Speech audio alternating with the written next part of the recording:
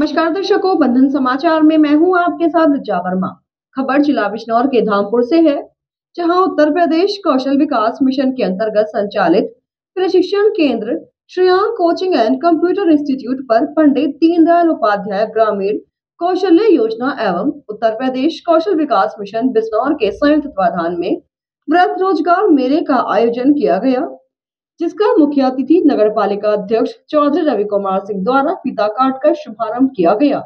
नगर पालिका अध्यक्ष रवि चौधरी, डॉक्टर जितेंद्र कौशिक, निर्मला कौशिक, जिला कौशल प्रबंधक रोहिताश कुमार पांडे, मार्कंडे चौरसिया द्वारा माँ सरस्वती के चित्र के समक्ष दीप प्रज्वलित कर कार्यक्रम का शुभारंभ किया गया। सभी अतिथियों का आयोजकों द्वारा बैस लगाकर एवं मुख्य अतिथि का बुके भेंट कर स्वागत किया गया।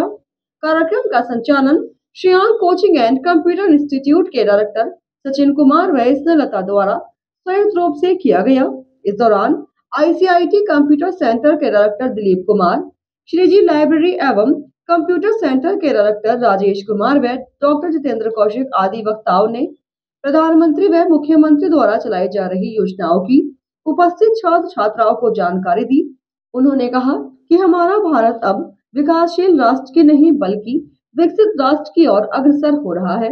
हमारी सरकार का हिंदुस्तान को विकास की श्रेणी में लाने का सपना है। ये तभी संभव है जब हमारा युवा जागरूक हो। मुख्य अतिथि चौधरी रवि कुमार सिंह ने कहा, आज राधा इंटर कॉलेज में आयोजित इस रोज़गार मेले में जितने भी यहाँ लाभार्थी हैं, जितने भी यहाँ युवा हैं, जिन्होंने किसी भी फ़ील्ड में, चाहे वो अकाउंट्स में हो, चाहे फ़ैशन डिज़ाइनिंग में हो, जिसमें भी इन्होंने एक महीने की या तीन महीने की जो भी ट्रेनिंग ली है मैं समझता हूँ कि आप सबका योगदान अब हमारे समाज को, देश को आगे बढ़ाने में होना चाहिए।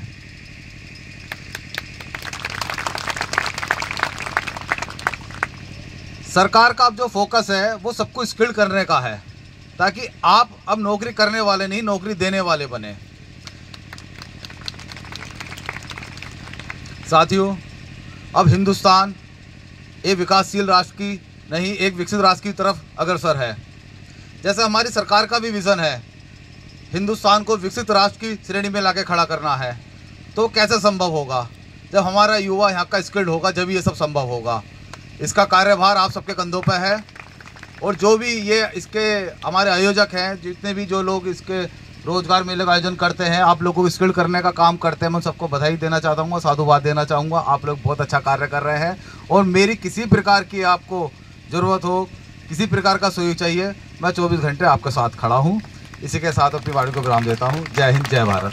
भारत रोज़गार मेले में लगभग दो प्रशिक्षणार्थियों ने प्रतिभाग किया, जिसमें लगभग एक सौ बावन प्रशिक्षणार्थियों को तीन कंपनियों के द्वारा सेवायोजित कराया गया।